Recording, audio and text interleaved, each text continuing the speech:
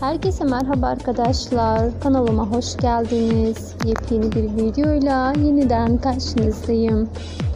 Bugünkü videomda sizler için herkesin sevilen dizi oyuncularından olan Teşkilat dizisinin başrol oyuncusu Serdar karakterini canlandıran Çağlar Ertuğrul'dan geldim.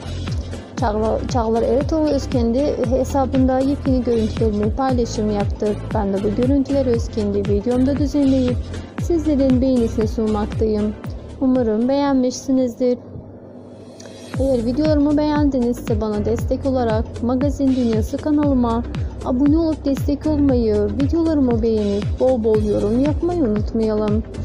Şimdilik benden bu kadar olsun arkadaşlar. Sizleri daha fazla yormayın.